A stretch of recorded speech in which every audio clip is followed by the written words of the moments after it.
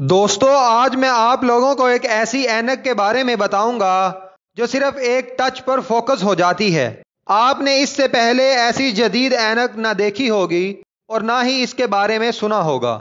تو دوستو، اس اینک کے بارے میں بتانے سے پہلے آپ سب سے اتنا کہوں گا کہ اس اینک کے بارے میں جاننے کے لیے اس ویڈیو کو آخر تک ضرور دیکھیں۔ اس کے ساتھ ہی آپ لوگوں سے گزارش کروں گا۔ Subscribe to my channel. And also press this bell icon.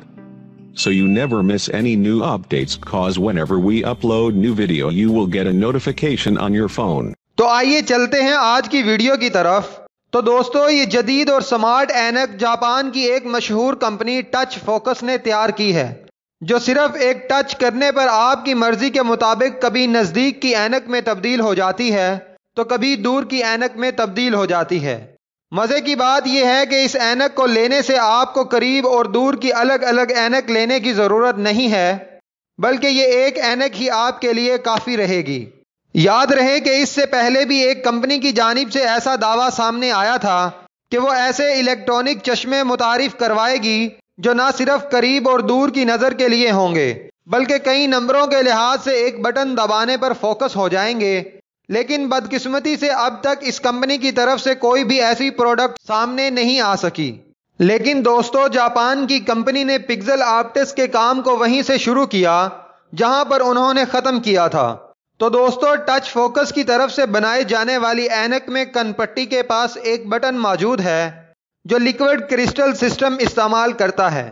یاد رہے کہ فی الحال اس اینک کو بیس مختلف فریمز میں پیش کیا جا رہا ہے۔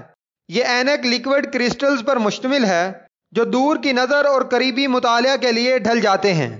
مزے کی بات یہ ہے کہ یہ اینک یو ایس بی سے چارج بھی ہو جاتی ہے اور اس کی چارجنگ صرف اس وقت خرچ ہوتی ہے جب آپ اس اینک کو استعمال کر رہے ہوتے ہیں۔ لیکن دوستو، اس اینک کی قیمت بہت زیادہ ہے، جسے ایک عام آدمی نہیں خرید سکتا۔ یہ ایک بری خبر ہے ان لوگوں کے لیے جو اس اینک کو لینا تو چاہتے ہیں، لیکن لے نہیں سکتے۔ کیونکہ ان لوگوں کے پاس اس کو لینے کے لیے اتنے پیسے نہیں ہیں۔ ویسے دوستو اس اینک کی قیمت بائیس سو ڈالر کے قریب ہے۔ تو یہ تھی آج کی خبر۔ نئی ویڈیو میں ملیں گے ایک نئی خبر کے ساتھ۔ تب تک کے لیے اللہ حافظ۔ اگر آپ کو یہ ویڈیو اچھی لگی ہو تو لائک کمنٹ اور شیئر ضرور کیجیے گا۔ تھینکس فار واچنگ مزید ویڈیوز اور اپڈیٹس کے لیے ابھی سبسکرائب کے بٹن کو کلک کریں۔